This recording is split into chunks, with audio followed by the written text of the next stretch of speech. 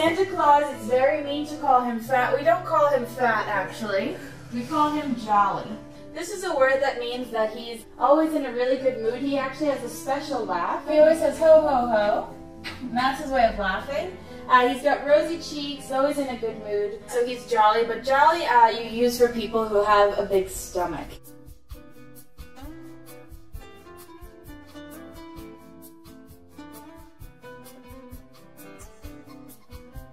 The story is that Rudolph was actually used to be made fun of by all the other reindeer and nobody liked him. And then it was foggy one Christmas Eve, so Santa must have been in Austria.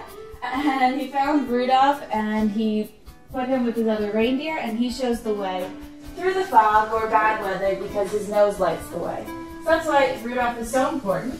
Uh, but there are eight other reindeer. So he has the, ma the magic flying reindeer pull his sleigh.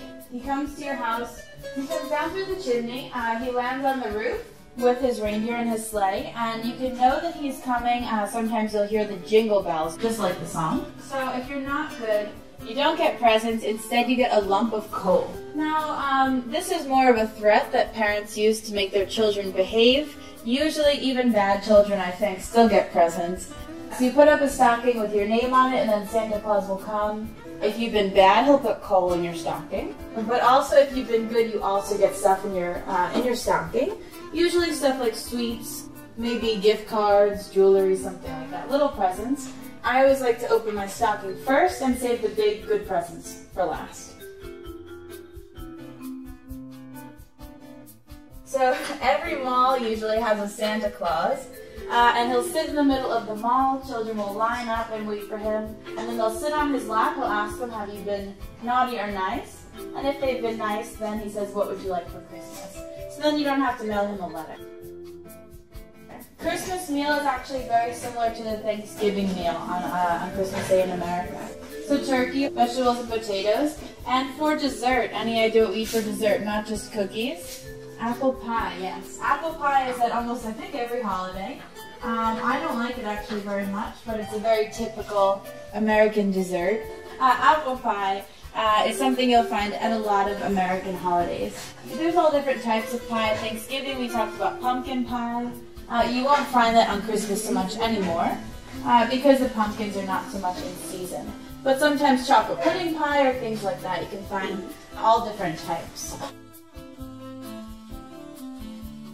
Next very important part that I wanted to talk about, presents, yes, and decorations. What's the most important decoration? The Christmas tree, exactly. Ornaments is more of a general term, so we have the ball-shaped ones, but ornaments are actually something you collect, uh, and it's usually, uh, you collect ornaments that reflect something that you like.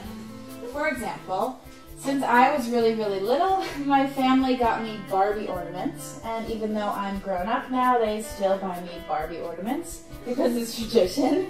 And even though I don't really want Barbie ornaments anymore, it's the tradition and that's what I collected since I was little and that's what I'm stuck with. Next very important part that I wanted to talk about, which is the Christmas tree. uh, and what goes under the tree? Presents, of course, very important. What other decoration might you put underneath the tree for Christmas? It's called a nativity scene. And the nativity scene is with Jesus, Mary, and Joseph, and the animals and the kings. Jesus in the manger, it's called. Uh, we also do this in America, but there's some stuff we put under our tree other than presents. First of all, we usually put kind of a rug, but we call it a tree skirt. And you do this to protect your floor from being covered in the pine needles, all the leaves from the tree. Sometimes people like to decorate the tree skirt, so it's not just useful, it's pretty. Uh, any idea what we put on the tree skirt? Uh-huh. So maybe a toy train that goes around.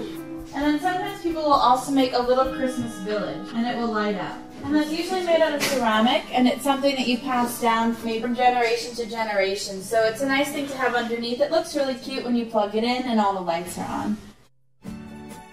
So have a very Merry Christmas. I won't see you guys until afterwards, and a Happy New Year. Uh, and I will see you in 2012.